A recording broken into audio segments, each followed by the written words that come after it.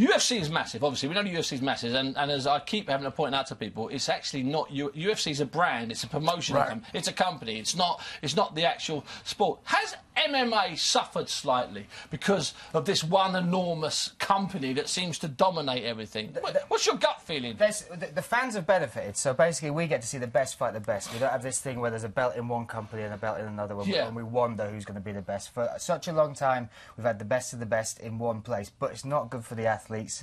Uh, and what's happened now is more promotions are growing, so like ACB. More's, more's an Bellator- understatement. There's it's- dozens of you it's- guys out Yeah, there. to really bounce off of what Brian is saying is absolutely correct. When it started out, it was a, a phenomenal thing that all the best fighters could face each other.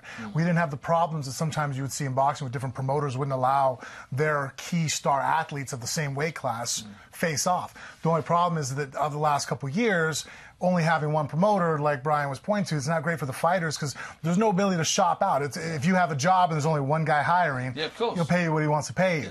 And so It's now called monopoly. yeah. So now with Bellator and ACB and the different organizations stepping up, good for everybody. It's awesome for us as the fighters.